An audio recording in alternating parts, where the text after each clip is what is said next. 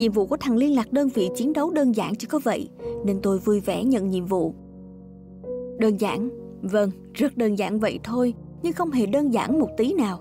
Thằng liên lạc chiến đấu vất vả hơn cả người lính bộ binh chiến đấu dưới B rất nhiều. Mức độ nguy hiểm là gấp 2 lần khi tác chiến, nhất là khi làm liên lạc của cán bộ quân sự. Và tôi đã làm liên lạc của cán bộ quân sự đến 2 năm liền, đi qua 4 đời cán bộ đại đội trưởng, với nhiều trận đánh lớn, nhỏ, truy quét khắp miền Tây Nam Campuchia và cũng trong giai đoạn thời kỳ khó khăn nhất của cuộc chiến. Ngay đêm hôm đó, tôi đã phải theo anh Lịch lên chốt C1 bám trận địa rồi. Anh em dưới B xì xào bàn tán chuyện tôi làm liên lạc cho anh Lịch. Đám lính Hà Nội là bàn tán nhiều nhất, chúng nó thắc mắc. Tại sao thằng Hiếu trước lúc lên chốt lại được lên C bộ làm liên lạc C trưởng, còn người khác thì bị đẩy hết lên tiền tiêu. Hai thằng này ôm chân cán bộ bẩm báo gì nên bây giờ được ưu ái. Trời đất ơi, cái đầu óc nhỏ nhen đó, nó cố hữu ăn sâu vào thâm căn cố đế của con người và nhất là trước những trận đánh hay nhiệm vụ khó khăn thì điều đó càng rõ. Chúng nó có biết đâu rằng các anh trên xe bộ đã chọn tôi làm liên lạc ngay giờ phút đầu tiên tôi bước chân về đơn vị.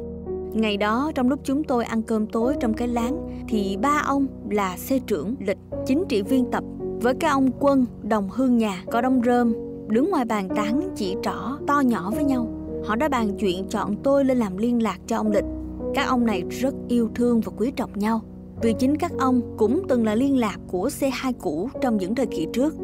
Bởi vậy, ông Quân khởi xướng, kêu hai ông kia ra chỉ trỏ mà ngắm nhìn tôi. Ông Quân nói, mày phải chọn thằng kia kìa, thằng đầu cắt ngắn, đẹp trai, da trắng như con gái, mặt phủ đầy lông tơ, môi đỏ chót ấy.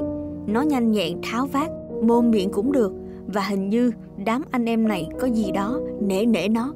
Chọn liên lạc là phải chọn những thằng này mới được việc và nó mới bảo vệ được mày khi cần thiết.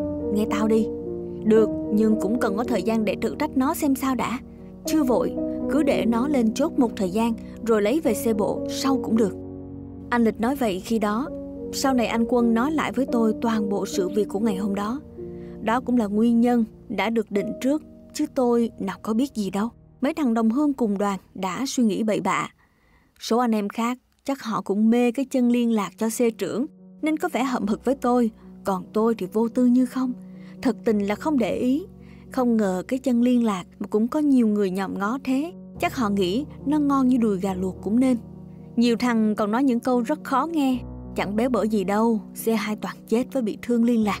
Đấy, như thằng a, thằng b, đang ở dưới b ngon lành lên làm liên lạc có thời gian ngắn là ngõm ngay rồi. Xem thằng này được mấy bữa. Theo ai chứ theo ông